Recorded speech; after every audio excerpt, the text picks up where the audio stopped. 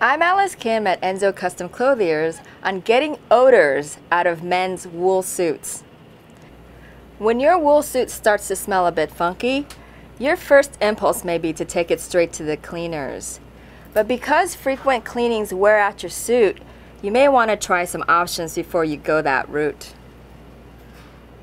The most straightforward approach is to air it out for a day or two by hanging the suit and trousers separately in or near a well ventilated area like an open window or balcony.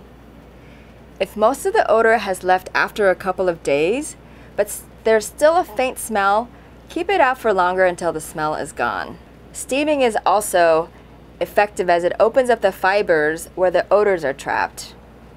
Hang it near your shower with the bathroom door shut for maximum steam, or better, use a garment steamer if you have one. Only after airing and steaming don't work should you resort to taking it to the cleaners. Ideally, you should dry clean your suits once a season at most. As an extra tip, remember that maintenance is prevention. Let suits air out at least a day between wearings to prevent odors from accumulating in the first place.